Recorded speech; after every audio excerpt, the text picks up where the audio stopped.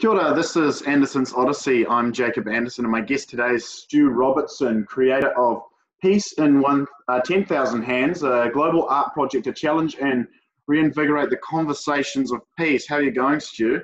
I'm good. Good to see you again, bro. Yeah, it's good to see you. Hey, you know, obviously with COVID and there's a lot of stress, and and I mean, you you've been kind of promoting um, this or, or, working on this project for quite a number of years. But do you think it's changed much now, or do you think the, the purpose of the, the project has changed with the new kind of world that we're living in now? Yeah, yeah, it's a new world, isn't it? I think that so when I started the project um, about eight or nine years ago, it was really to put a lens and a magnifying glass over um, what it means to exist in the human condition and uh, travel the world and photograph people and ask them basically one simple question what does peace mean to you? And that's something that we all deserve as humans is to live in peace essentially. So when i this was pre-terror it was pre, you know, 2008. It's been a whole lot of things that have happened since then. And when i started it people were like why do we need peace? The world was going through kind of a very peaceful patch. Um, but i've always felt that humans, animals, nature have never needed peace like we need it now. And COVID has just kind of exploded the whole conversation. It's really put a, a magnifying glass over this conversation in terms of if you throw COVID into a bucket and you mix it up with the rest of the world, that's inversely disproportionate. While humanity is being sort of crushed into desperation, uh, nature all around the world is taking over you know, I went for a walk this morning in downtown Auckland. There's tuis in the trees. You know, there's examples of you know all around the world without sort of relitigating them of how this sort of balance happens. And I think that you know I, I hold the same line. You know, we've never needed peace like we need it now, and it's not about the lack of um, armaments. It's not about the lack of conflict. Uh, it's about where we sit as humans and the human condition and if you travel around the world and you ask people what peace means to them, they all essentially have the same answer, you know. And, and what is that? well, um, so before I before I give you what the answer essentially is, after after after kneeling down in front of over three and a half thousand people and taking their portrait, holding the white rose, um, I wanted a symbol of peace that a gang member, a murderer, a religious person, um, someone who did not speak my language, which is English, um, could understand and interpret. So the white rose is the oldest symbol of peace on the planet and has always been recorded as a symbol of peace and pure love in any culture. So it's not something that I need to communicate. Um, it's like an emoji. If you send someone a thumbs up or a smiley face, even if they're in Africa or some part of Europe, you understand the conversation. So that was the first part of it. Um, and so it's to create this commonality and then so that's to say that I photograph people from uh, a lot of different religions uh, across a lot of borders in a lot of areas with conflict. And essentially, what people will say to you, regardless of how desperate their situation is, uh, is that peace starts within, and then your family, and then your village, and then it goes out from there.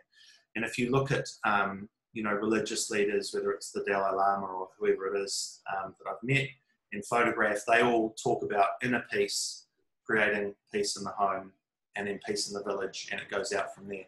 So when, when you ask peace, when you ask people what peace means to them, they generally will talk about the, the inner peace, and then it radiating out from there, without any specific requests for clean water, you know, no bombs, and all the other things that you can imagine that are sort of visceral in some people's daily life.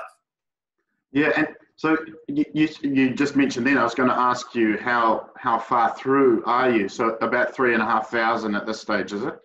Yeah. Yeah, so all seven continents, including Antarctica. Yes, where we met and I learned about yeah. the project a lot.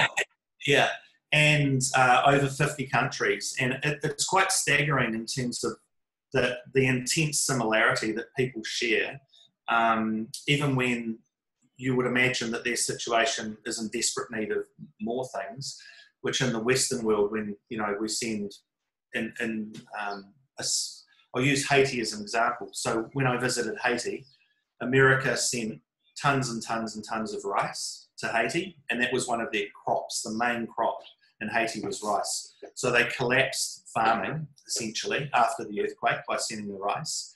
And then what people do whenever there's a, uh, a flood or a tsunami or an earthquake is they send clothing and shoes. And the other thing that Haiti had, um, mainly for the female population, was in, in, manufacturing was shoes and clothing, and a lot of t-shirts. So that collapsed, um, and then the UN turned up and various other things happened. But essentially, what what Haiti really wanted, and if you go and talk to them now, is they're like, you know, we don't necessarily need look at what you're doing look at the balance or imbalance you're creating when you do one thing, the, butterfly effect, something else happens.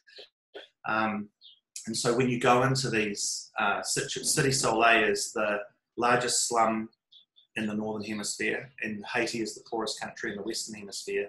So it's essentially, they think about 400,000 people living without reticulated sewage, power, water, all that kind of stuff. And it's literally a fight every day to survive. It's an extraordinarily violent place, murder, rape, abduction, theft happen every single day. Um, I went in there and photographed. It was a bit of a stressful situation. And even under that intense stress of living, you know, you lock yourself in your tin shed every night. Um, and you, you know, you, you, you fight for your survival and your children's survival. They have very similar needs and wants to someone who can just turn a tap on and have fresh water magically appear or flick a switch and have power in terms of that inner peace. They don't, you know, peace, peace to them is not a, a constant supply of food and things like that. Sure, they talk about water, but that's, that's a common thread that happens wherever you are around the world in terms of the human condition and what we all perceive peace to be. And you've, yeah. you've sort of uh, you've taken these photos of all sorts of different people.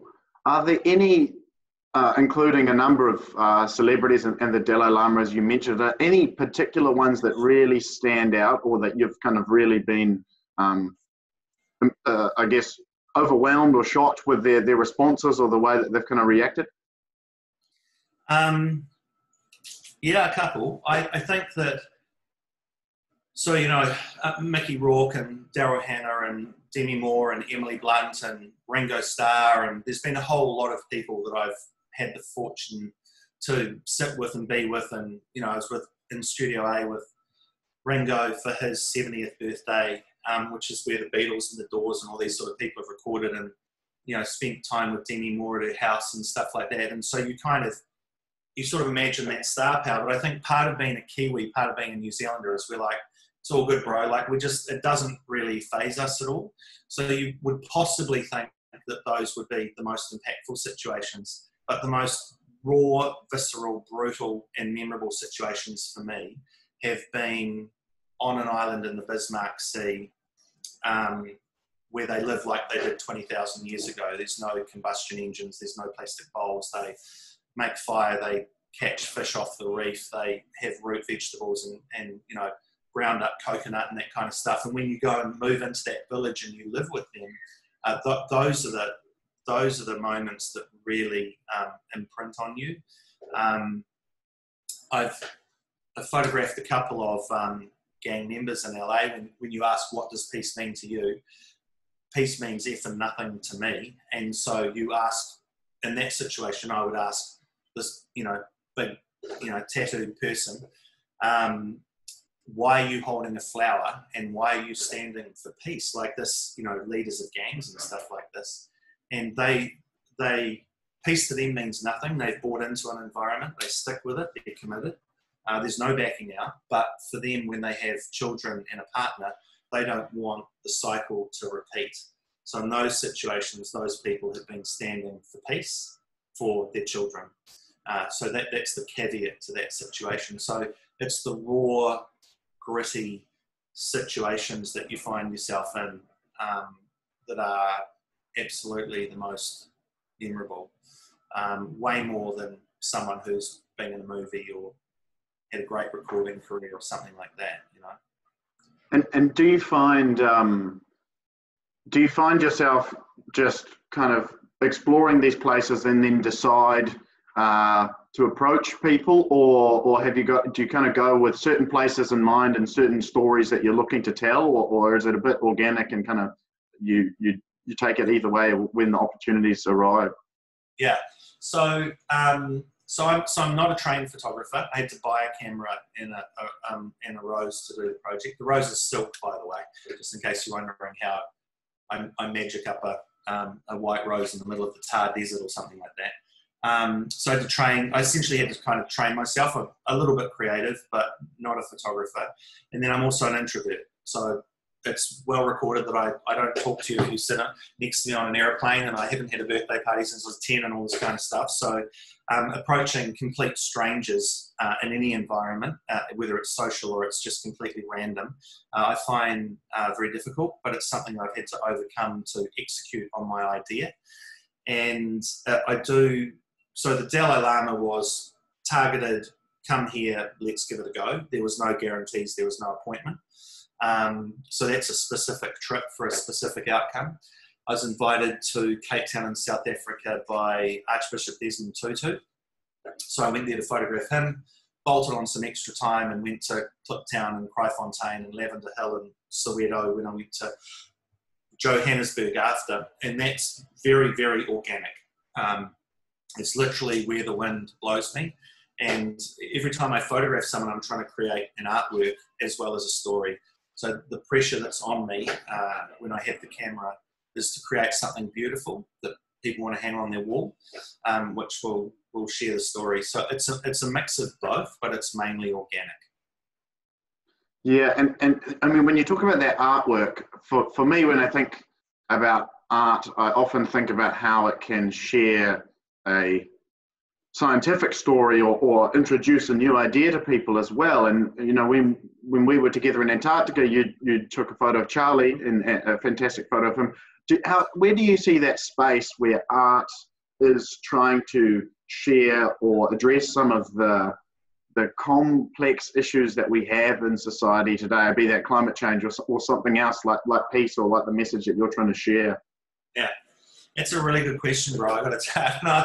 I, don't practice, I don't know if you practice that question or, or what, but anyway, it's a very profound question, actually. So, as an artist, um, you don't state the obvious. It's not your job to hold a placard up and say this is this is my comment, this is my statement.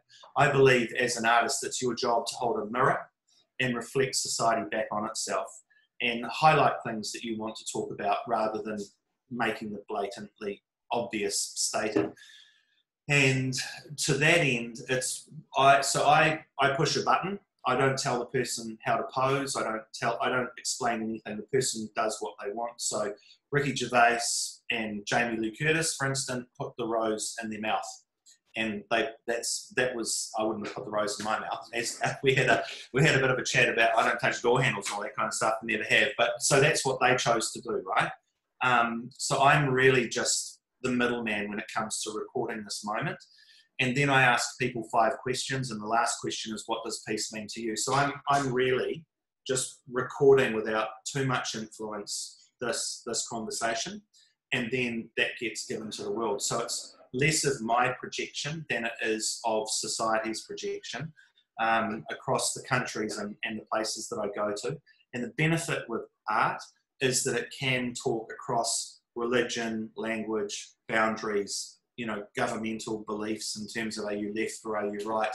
Art, art sits in a very, very powerful um, place, and especially at the moment, if you want to talk about climate change and COVID and governments and swinging left and swinging right and where the world is currently, um, artists are in a very, very sort of um, almost like the ability to highlight things, put a lens over things, put things in a bucket, and give other people the chance to reflect on what that message is or what that painting or photograph or poem is about rather than someone foisting upon them what their belief system is. So, I mean, you know, my thing is just a mirror, it's not a placard.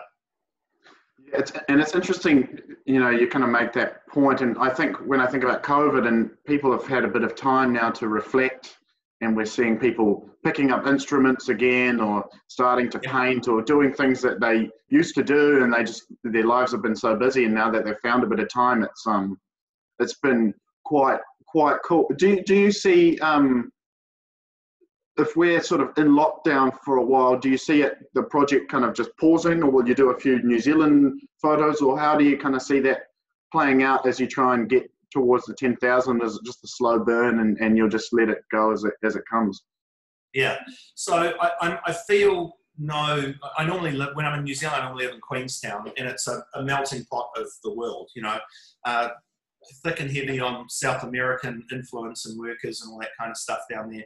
So I could go to, I could go to Lambton Quay, I could go to, um, I could go and stand in front of the cathedral in Christchurch or downtown Auckland and knock a whole lot of photographs off. But it's it's the practice of the organic, um, which you talked about before, which um, lets uh, the mix of humanity boil up. So it's about getting people in their environment, getting the gritty backgrounds, getting the stories. Um, that's important. So I don't I don't feel any compunction to race through the ten thousand.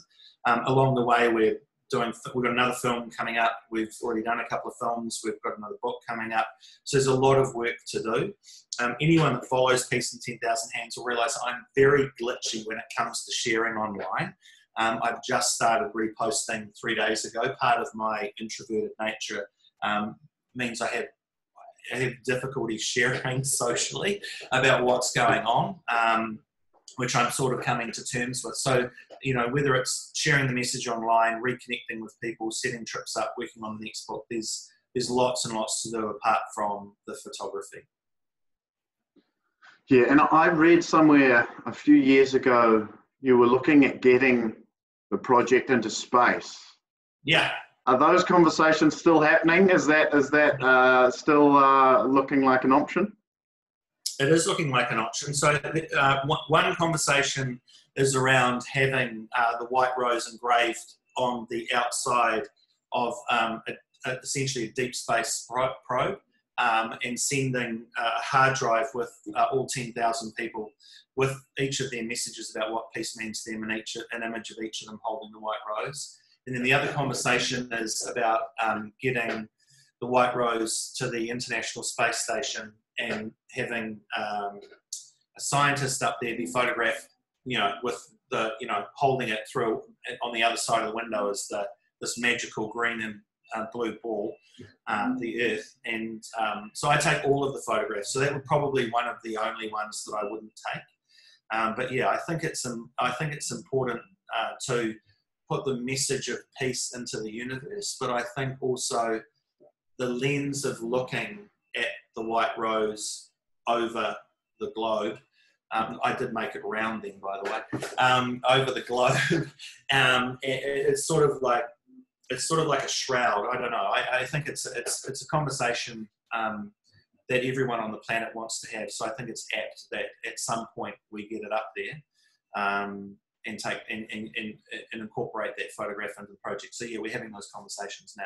Cool. Yeah, I know. I know the the image of Scott Kelly when he grew a flower in space. I think, and there's this picture of him, and that was the first flower that had, had ever bloomed uh, at the space station. And that, and there's other people that have talked about you know trying to get a little plant uh, in this kind of miniature greenhouse on the moon or on Mars. And yeah. if they could do that, what sort of questions would that uh, spark in society, or, or would that uh, you know open up new ideas of curiosity and and um, sort of the the reality of of how fragile things are, or it's kind of just an interesting idea to think about. You know, what does what does that impact have on different people, and can that inspire people to to do different things? And have you have you seen anything like that? Have you had people kind of come up to you and and and mention you know the the the the impacts from some of the the work through this kind of message or piece that you're working on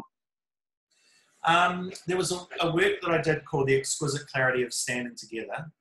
Uh, and it's 85 images, takes up, it took up a whole wall in um, a museum show that I did. And each image is about 400 by 400 in, in, in there in um, five lines. And um, you have, you have 85 people from about 50 countries standing looking directly at you.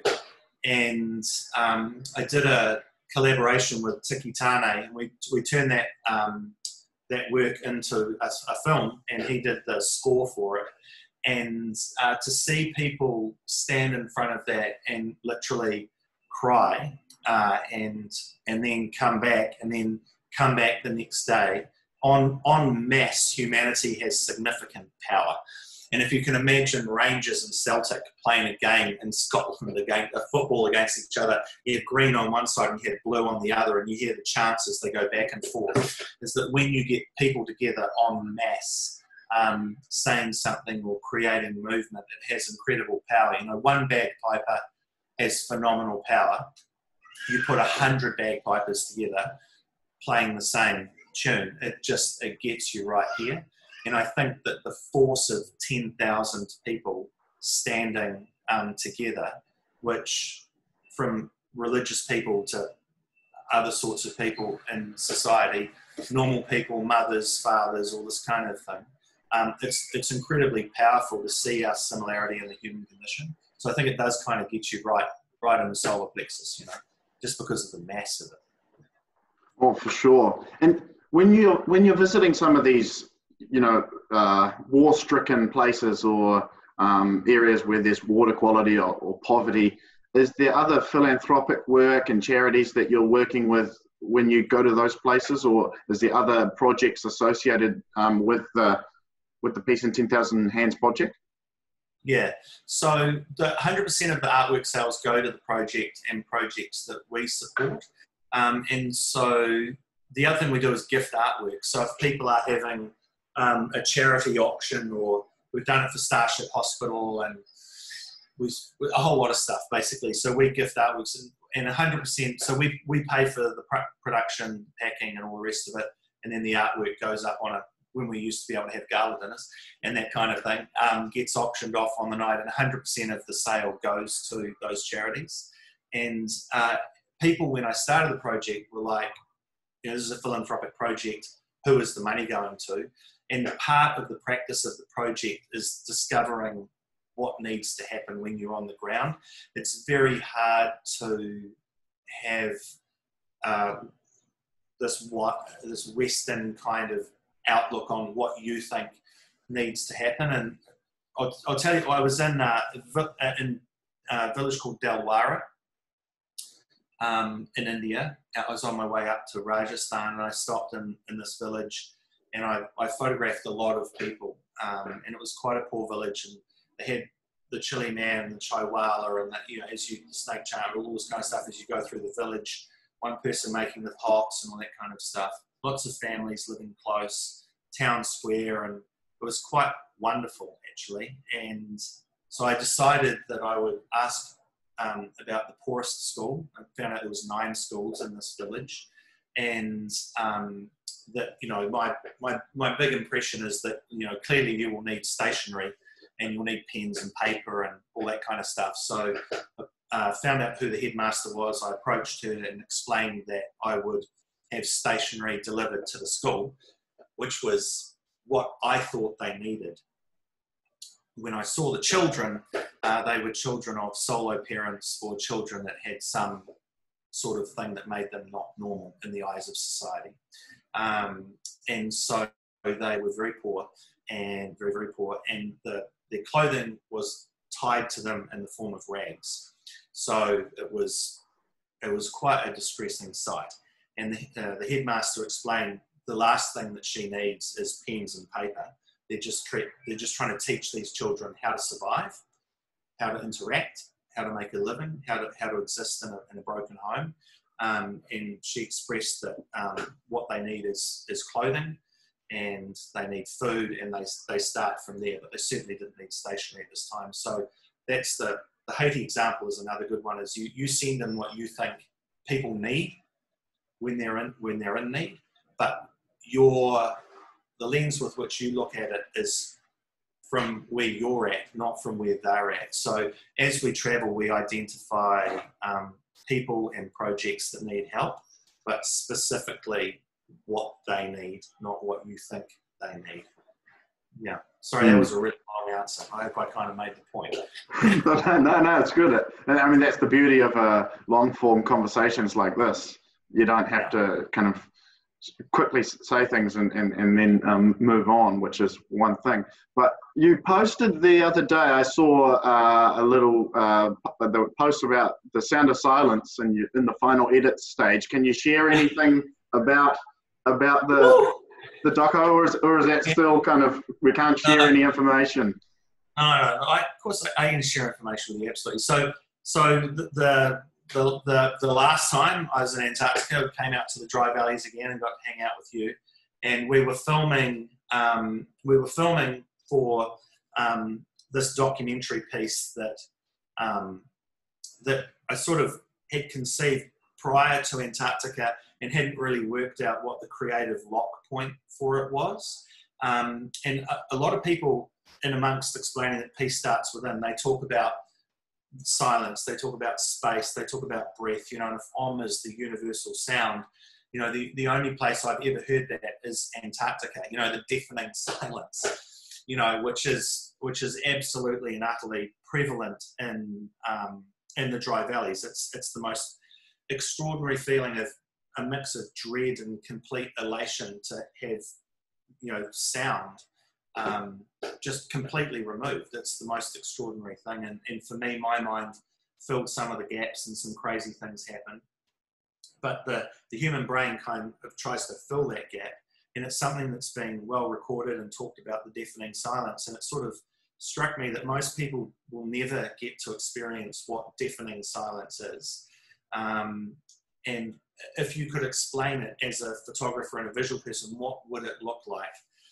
You know, what does the deafening sound look like? And so that was the, the goal of the second trip.